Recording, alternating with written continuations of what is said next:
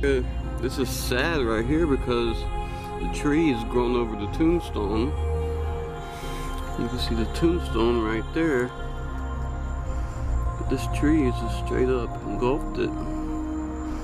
Miss Sylvia, you will be remembered. See Sylvia's name?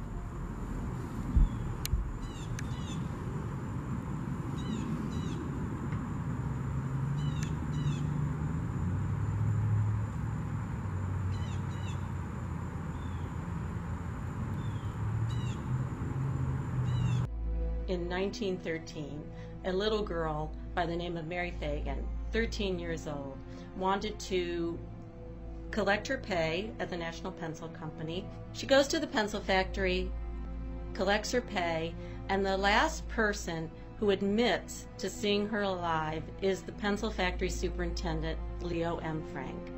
Mary Phagan comes in, he admits to giving her pay, and that is the last time anybody really admits to seeing Mary Phagan alive. She's discovered in the early morning hours that day by the night watchman Newt Lee in the basement. He immediately calls the police. The police come. They march through the basement of the pencil factory, literally destroying the crime scene, and discover that it is indeed a white child by the name of Mary Phagan. After the police investigate numerous people who were at the pencil factory that day, they hone in, they zero in on Leo Frank. Leo gets sentenced to death. He's taken back to the city jail. The appeal process starts. Um, it takes most of 1914, um, goes through all the state courts, the appellate courts, and eventually there's no more recourse to all the way to the Supreme Court. That appeal is also denied, and at this point, it's left up to Governor Slaton to make a decision. It falls into his hands. Does he commute the sentence or let it go? So he commutes his sentence from death to life in prison. The night before he announces the commutation, um, Leo's scurried off by train to the state prison farm in Milledgeville a conspiracy is being brewed in Marietta. The elite of Marietta who decide that the sentence of death should have been carried out, that this was a total miscarriage of justice, and they decide to take the law into their own hands.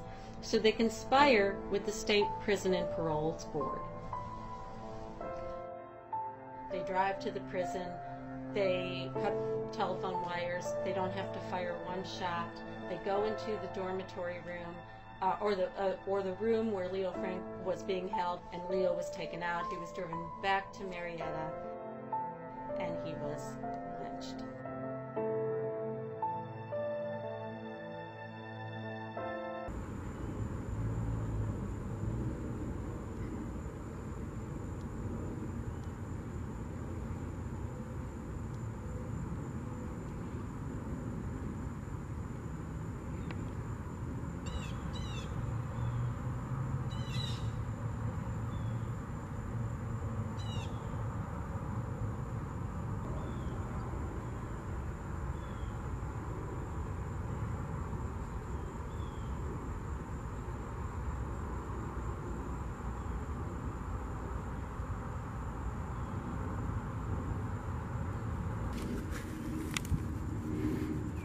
What's this?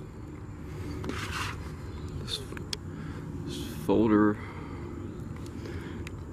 This folder was behind this love tombstone. And this says, How I can know that I will hear well done when I stand before Jesus.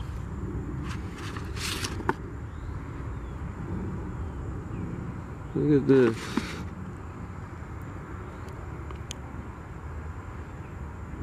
Jesus is Lord. Core values of Liberty Church. Welcome to Liberty. Well, good for Liberty for doing something like this. Very cool. And then right here, something that says James. We're gonna leave it in here. It says James. That's why I love cemeteries. They're so, you know, nostalgic and sentimental. Just not many places in the world like cemeteries.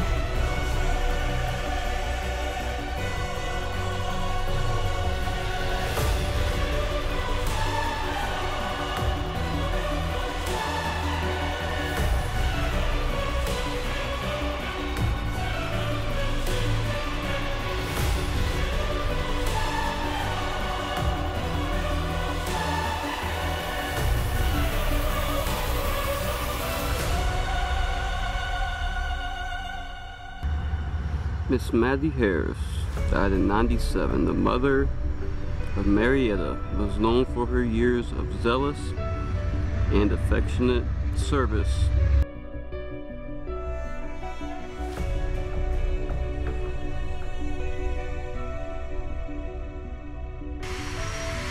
Thank you for your service, Miss Maddie. Love to shake your hand. Maybe in heaven one day. This tombstone has some fantastic detail on it here. Very defined.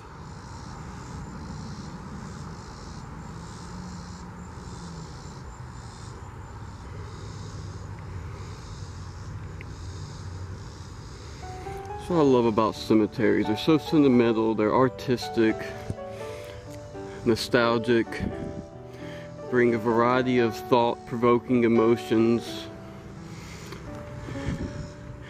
It's just a unique atmosphere. He is our rock.